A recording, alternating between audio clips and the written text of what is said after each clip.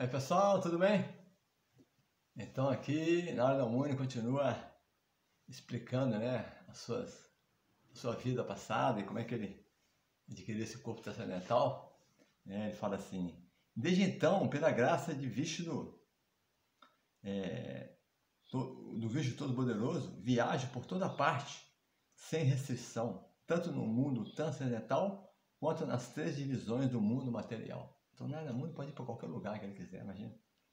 Isso porque estou fixo no ininterrupto serviço devocional ao Senhor. Então, pela, pela misericórdia de Krishna, né, nada mundo está fixo no serviço devocional a Krishna, então ele pode ir para qualquer lugar, tanto no mundo espiritual como no mundo material.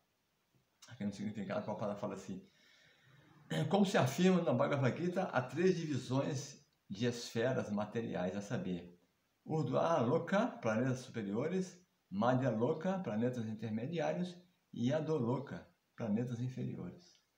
Além dos planetas Urdhva Loka, isso é, acima de Brahma Loka, o mundo material tem três divisões, né? inferiores, intermediários e superiores. Então, acima de Brahma Loka, que é Urdhva Loka, são as coberturas materiais dos universos. E assim, e assim, e acima, acima disso, está o céu espiritual.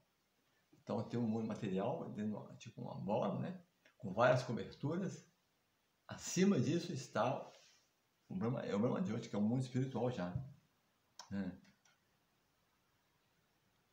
O céu espiritual, que é ilimitado em expansões, contendo ilimitados planetas vaikuntas, auto-luminosos, habitados por, por Deus em pessoa, juntamente com seus companheiros, que são entidades vivas eternamente liberadas. Então, aqui no mundo material, todo mundo é eternamente condicionado, no mundo espiritual, todos nós somos eternamente liberados. Srinarada Muni podia entrar em todos esses planetas, em ambas as esferas, material e espiritual, sem restrições. Hum. Assim como o Senhor Todo-Poderoso é livre para movimentar-se pessoalmente em qualquer parte de sua criação. Então, Krishna, então, devoto puro é como Krishna, né?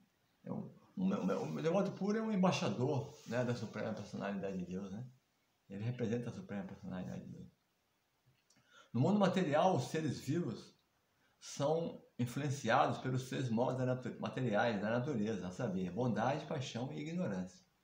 Mas Sri Narada Muni é transcendental a todos esses modos materiais e, por conseguinte, ele pode viajar por todas as partes irrestritamente. Então, alma liberada, né? Ele é um, um liberado homem do, do, espaço. A misericórdia sem causa do Senhor Vishnu é incomparável. E tal misericórdia é percebida pelos devotos apenas pela graça do Senhor. Hum. Senhor incomparável. E tal misericórdia sem causa do Senhor Vishnu é incomparável, né? É percebida pelos devotos apenas pela graça do Senhor. Portanto, os devotos nunca caem, é, mas, mas os materialistas, isso é, os trabalhadores furtivos e os filósofos especuladores, caem, sendo forçados pelos respectivos modos da, da natureza em que estão situados. Então, só o devoto é que não cai na, na energia material, porque ele está rendido a Krishna, está ocupado em serviço devocional. Como falei, o devoto, o devoto rendido a Krishna, o devoto puro, ele não tem nada a ver com, com esse mundo material mais, né? Os três modos da natureza não atua sobre o devoto puro de Cristo, porque ele está liberado, né?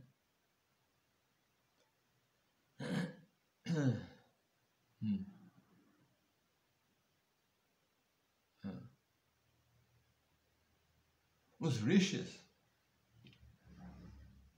como, como se mencionou acima, é, não podem entrar no mundo transcendental como Narada né? Os, dias que mencionou aqui, Atri, é, fala aqui, é, Atri, Anguira, Marite, eles não podem entrar no mundo transcendental. Né? Os rishis, os rishis não podem entrar no mundo como nada mundo. Esse, esse, esse fato é revelado no Narasimha Purana. Rishis como Marite são autoridades do, no trabalho furtivos. E rishis como Sanaka e Sanatana são autoridades em especulações filosóficas. Mas Sri Narada Muni é autoridade primordial para o transcendental serviço devocional ao Senhor. Nada Muni é o Bhakti Shakti, né? Ele tem a potência do serviço devocional. Espalhar, ele tem a potência de espalhar o serviço devocional por todo, todo o universo, né? Todas as, as grandes autoridades no serviço devocional ao Senhor seguem os passos de Narada Muni em concordância com o Narada Bhakti Sutra de Narada Muni, em, é, em concordância com Narada Bhakti Sutra. E, portanto, todos esses devotos do Senhor estão decididamente qualificados para entrar no reino de Deus, Vaikunta. Então, todos os devotos, os devotos de Krishna, seguem os passos de Narada Muni. E quem segue os passos de Narada Muni se qualifica para entrar no mundo espiritual. Então ele fala assim, e assim viajo cantando constantemente as, as mensagens transcendental das glórias do Senhor, vibrando esse instrumento chamado Vina, que é dotado de som transcendental e que me foi dado pelo Senhor Krishna. Ah, o instrumento da Muni é transcendental. É um, uma, vina, uma vina que ele ganhou de Krishna, mas pessoalmente Krishna deu pelo instrumento. Vai tocando e vai ah, cantando as glórias de Krishna, viajando por todo o universo. Né? O instrumento musical de corda chamado Vina, que foi dado a Narada pelo Senhor Krishna, é descrito no, no Linga, Linga Purana, isso é confirmado por Srila Diva Goswami. Esse instrumento transcendental é idêntico ao Senhor Sri Krishna e Narada, e Narada, porque todos estão na mesma categoria transcendental. Então, tanto o Senhor Krishna, quando o devoto por Narada, quando o instrumento de Narada, todos são transcendentais. Né? O som vibrado pelo instrumento não pode ser material e, portanto, as glórias e passatempos que são difundidos pelo instrumento de Narada também são transcendentais. Hum.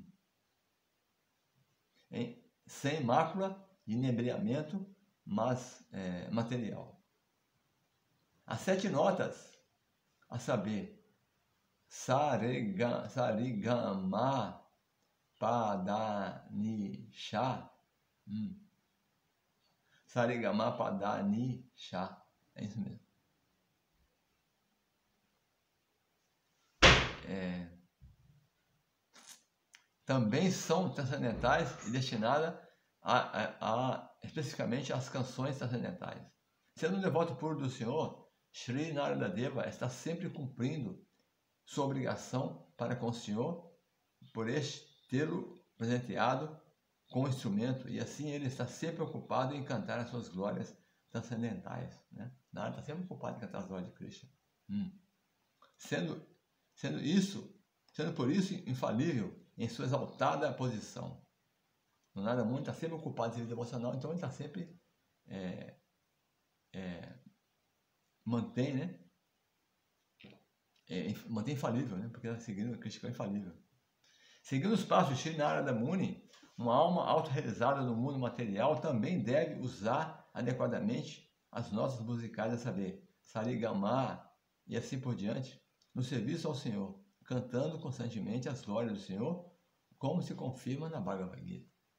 Então, então nós devemos usar o instrumento para Krishna. É de Krishna o instrumento, usar para Krishna, né?